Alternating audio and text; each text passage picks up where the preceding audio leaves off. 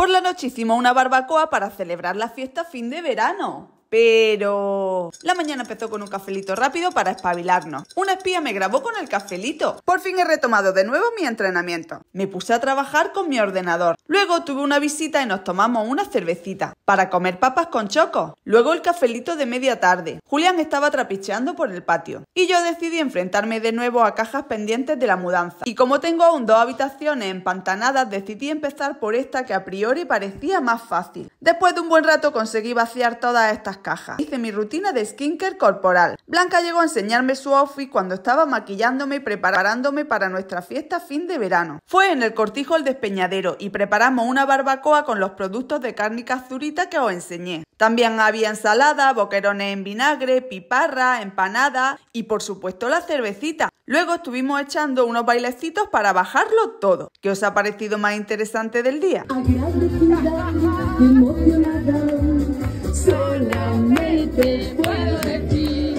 Gracias por ver.